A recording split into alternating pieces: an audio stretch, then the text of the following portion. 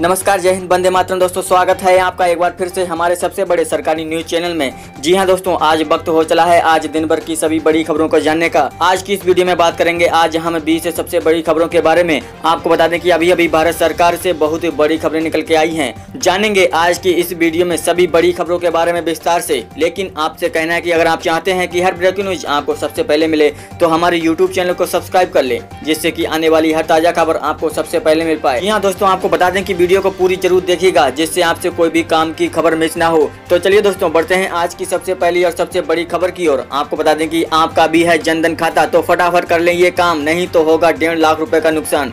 जी हाँ, आपको बता दें कि केंद्र सरकार की ओर से देश की जनता को जनधन खाते की सुविधा दी जाती है। अगर आप भी ये खाता खुलवाते हैं तो आपको कई तरह की सुविधाएँ दी जाती हैं। लेकिन अगर आप इंश्योरेंस का फ़ायदा लेना चाहते हैं तो इसके लिए आपको अपने खाते को आधार से लिंक करना ज़रूरी है। अगर आपने खाते को लिंक नहीं कराया है तो आपका डेढ़ लाख रुपए का नुकसान हो सकता है। बता दें कि इस खाते में ग्राहकों को रुपए डेबिट कार्ड दिया जाता है, जिसमें एक लाख रुपए का दुर्घटना बीमा मिलता है। लेकिन अगर आप अपने खाते को आधार से लिंक नहीं कराएँगे तो आपको यह बेनिफिट नहीं मिलेगा। यानी सीधे सीधे आपका एक लाख रुपए का नुकसान हो जाएगा। दोस्तों, बढ़ते हैं इसी के साथ अगली बड़ी खबर की और आपको बता दें कि सोना चांदी वायदा कीमत में फिर आई गिरावट। उच्चतर स्तर से दस हज़ार रूपए सस्ता हुआ सोना। आपको बता दें कि आज भारतीय बाजारों में सोने और चांदी की वायदा कीमत में गिरावट दर्ज की गई। एमसीएक्स पर सोना वायदा 0.03 फ़ीसद गिरकर छियालीस हज़ार पाँच सौ अस्सी रूपए प्रति दस ग्राम पर रहा, जबकि चांदी वायदा 0.15 फ़ीसद गिरकर छियासठ हज़ार आठ सौ चौरासी रूपए प्रति किलोग्राम पर रही। पिछले सत्र में सोना ज़ीरो दशमलव पाँच फ़ीसद लड़का था, लेकिन पूरे सप्ताह में इसमें तेज़ी आई है। भारत में सोनों की कीमतों में इस महीने की शुरुआत में चवालीस हज़ार रूपए के स्तर को छू लिया था। वैश्विक दरों के उछाल, डॉलर के मुकाबले रुपए में आई गिरावट और कोविड 19 के मामलों में बड़ी चिंताओं से निचले स्तर पर सोने को समर्थन मिला। सोने ने पिछले साल अगस्त में छप्पन हज़ार दो सौ की रिकॉर्ड ऊंचाई हासिल की थी। अपने रिकॉर्ड स्तर से सोना दस हज़ार रूपए सस्ता हुआ है। पिछले सप्ताह सोना दो फ़ीसद ऐसी ज़्यादा टूटा। तीस अगस्त 2013 के बाद से ये सबसे बड़ी साप्ताहिक गिरावट है। तो इसी के साथ बढ़ते हैं अगली बड़ी खबर की ओर। आपको बता दें कि दिल्ली में कोरोना से बिगड़ते हालात के बीच मुख्यमंत्री केजरीवाल ने लॉकडाउन की चेतावनी दी।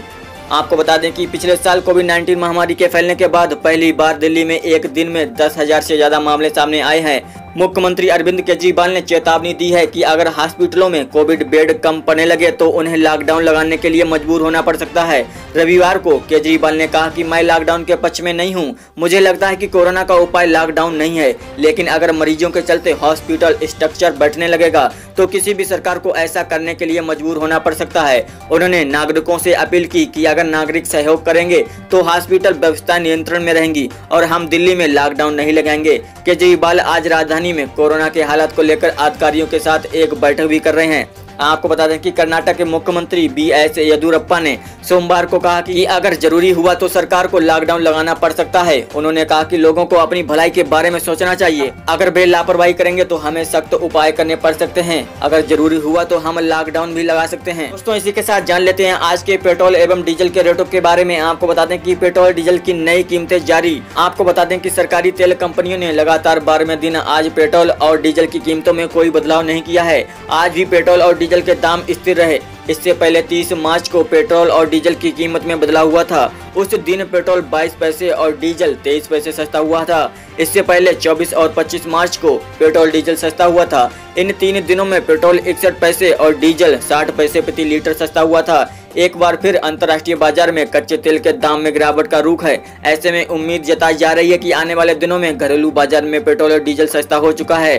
फ़िलहाल दिल्ली में पेट्रोल का दाम नब्बे दशमलव छप्पन रूपए प्रति लीटर और डीजल का दाम अस्सी दशमलव सत्तासी रूपए प्रति लीटर है। दोस्तों, इसी के साथ जान लेते हैं आज की अगली बड़ी खबर के बारे में। आपको बता दें की स्टेशनों में बड़ी यात्रियों की भीड़ तो शुरू हो गई मुंबई ऐसी यूपी बिहार के लिए समर स्पेशल ट्रेनें आपको बता दें कि कोरोना काल में रेलवे स्टेशनों पर यात्रियों की बढ़ती भीड़ को देखते हुए भारतीय रेलवे ने उत्तर प्रदेश और बिहार के लिए अतिरिक्त स्पेशल ट्रेनें चलाने की घोषणा की है। इसके तहत सेंट्रल रेलवे पुणे ने बिहार के भागलपुर और दानापुर के बीच अतिरिक्त स्पेशल ट्रेनों का परिचालन शुरू कर दिया है। साथ ही पश्चिमी रेलवे ने समर स्पेशल ट्रेनें चलाने का ऐलान किया है।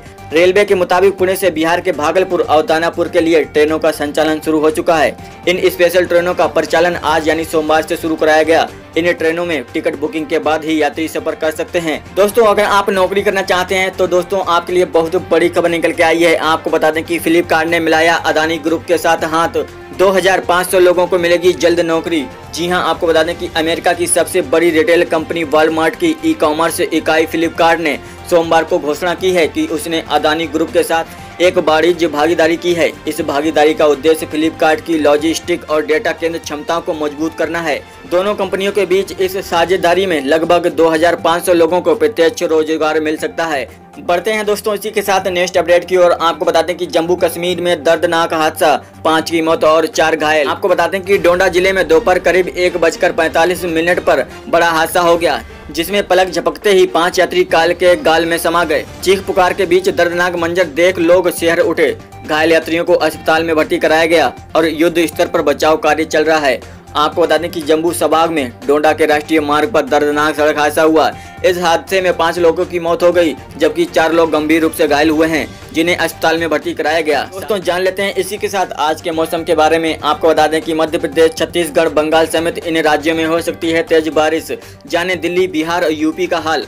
आपको बता दें कि देश भर में लोग गर्मी से बेहाल हैं। मध्य प्रदेश और उत्तर भारत के कई हिस्सों में लू अपना प्रकोप दिखाने लगी है। इस बीच भारत मौसम विज्ञान ने मध्य प्रदेश, छत्तीसगढ़, पश्चिमी बंगाल और उड़ीसा समेत कई राज्यों में तेज बारिश का अलर्ट जारी किया है। इस दौरान हवाओं की रफ्तार तीस ऐसी चालीस किलोमीटर प्रति घंटा रहेगी।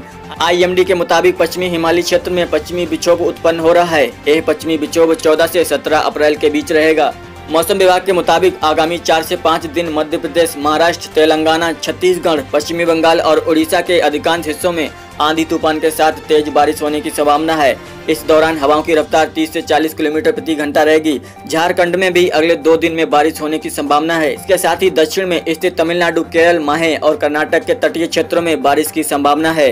वहीं पश्चिमी राजस्थान के कई इलाकों में 14 से 15 अप्रैल को धूल भरी आंधी और बारिश की संभावना जताई जा रही है। तो दोस्तों, ये थी आज की मुख्य ब्रेकिंग न्यूज़। अगर आपको वीडियो पसंद आई हो तो वीडियो को लाइक करें, शेयर करें और हमारे यूट्यूब चैनल को सब्सक्राइब करें, जिससे की आने वाली हर ताज़ा खबर आपको सबसे पहले मिल पाए। तो चलिए दोस्तों, मिलते हैं किसी नए वीडियो में नई बड़ी खबरों के साथ। तब तक के लिए जय हिंद।